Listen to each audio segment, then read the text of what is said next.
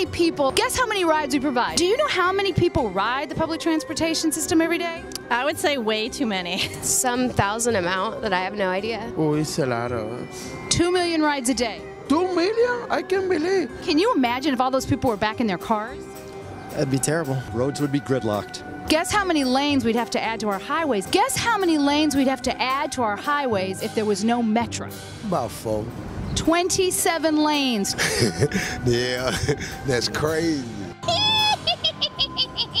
I'm from Cuba. I live in Florida. Tell me, do they have a lot of public transportation in Florida? Yeah, but it's not really good. Here, it's very easy to go to far place.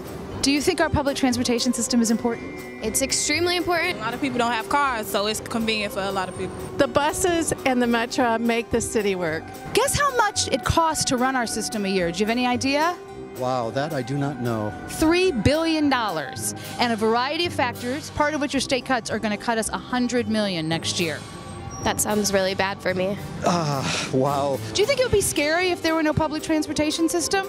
Well, I couldn't get to work. That would be really scary. Very scary. We need the system. You have a great system. Yeah, scary. We have to get some horses around here. It would be very scary if we didn't have a public transportation system.